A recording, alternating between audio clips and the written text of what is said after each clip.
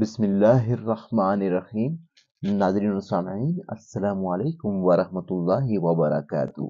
ناظرین و سامعین، آج کی اس ویڈیو میں حضرت خالد بن ولید رضی اللہ تعالیٰ عنہ کے بارے میں بتائیں گے. آپ سے التماس ہے کہ ویڈیو کو آخر تک لازمی دیکھیے گا. اور ابھی تک اگر آپ نے ہمارے اسلامی اور معلوماتی channel Wealth of Knowledge Corner کو سبسکرائب نہیں کیا ہو تو لازمی سبسکرائب کر دیجیے گا. بیل آئیکن کو آل پہ کر دیجیے گا تاکہ آنے والی ویڈیوز کا نوٹیفیکیشن آپ کو بر وقت وصول ہو سکے۔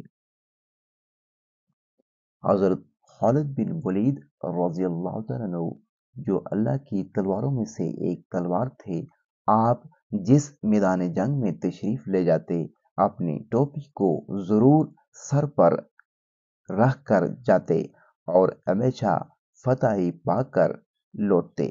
کبھی شکست کا مونا دیکھتے ایک مرتبہ جنگ یرموک میں جبکہ میدان جنگ گرم ہو رہا تھا، حضرت خالد بن ولید رضی اللہ تعالیٰ عنہ کی ٹوپی گم ہو گئی۔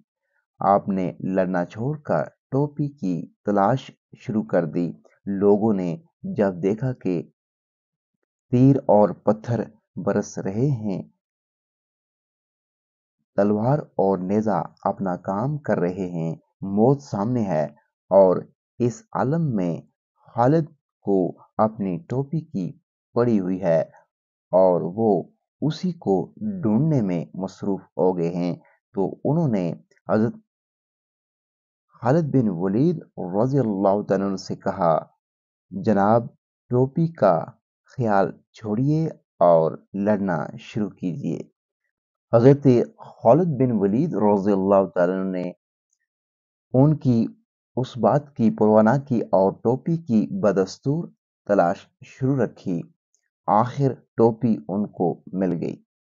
تو انہوں نے خوش ہو کر کہا، بھائیو، جانتے ہو مجھے یہ ٹوپی کیوں اتنی عزیز ہے؟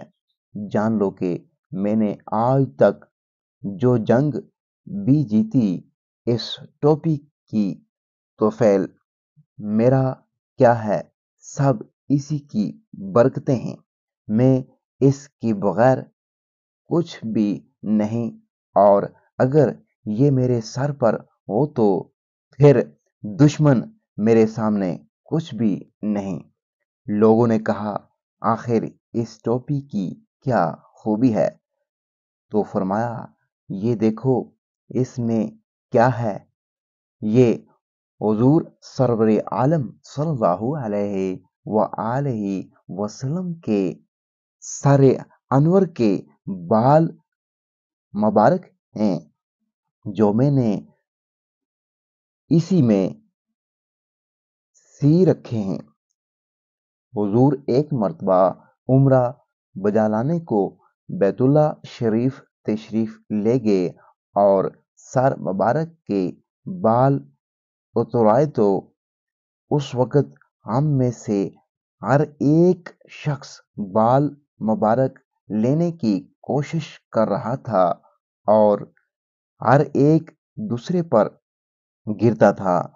تو میں نے بھی اسی کوشش میں آگے بڑھ کر چند بال مبارک حاصل کر لیے تھے اور پھر اس ٹوپی میں سی لیے۔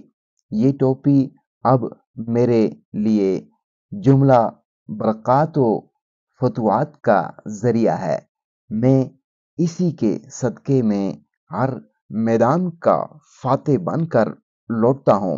پھر بتاؤ، یہ ٹوپی اگر نہ ملتی تو مجھے چین کیسے آتا؟